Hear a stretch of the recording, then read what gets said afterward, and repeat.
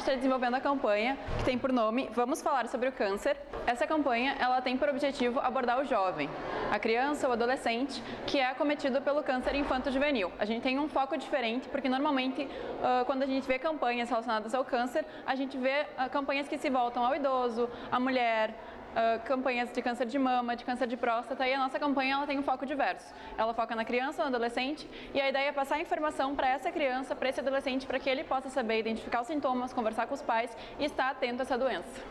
Às vezes pode estar muito perto, então não, não pensem que não pode acontecer com vocês. Ainda assim tem uma dor de cabeça constante.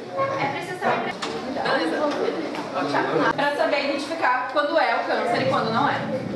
O câncer é mais comum no adulto e a gente considera adulto, assim, para fins de estatísticas em, em, oncologia, a partir dos 19 anos. Dizer, do 0 aos 19 anos é câncer infantil e infanto-juvenil. A partir dos 19 anos é adulto. Se tu considerar só doenças, o câncer é a principal causa de morte na criança e no adulto jovem até 19 anos. É preocupante esse dado? É preocupante porque é, existe uma, digamos assim, uma crença, alguma coisa uh, popular, digamos assim, de que câncer é, é doença de, de pessoa de mais idade. Câncer é, é doença de quem fuma, é doença do velho, é de quem bebe, é relacionado ao álcool. Isso está numa, na, digamos assim, está na cabeça das pessoas. Mesmo a criança estando bem, estando saudável, crescendo, brincando, se alimentando bem, pelo menos uma vez por ano levar no pediatra o que, que o pediatra vai fazer? Ele vai medir, ele vai examinar, ele vai corrigir algum erro alimentar, isso é, é, é, é da alçada do pediatra, e ele vai, normalmente, vai fazer um exame de sangue.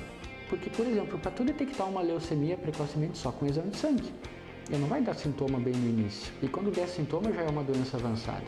E o, o importante, o histórico familiar.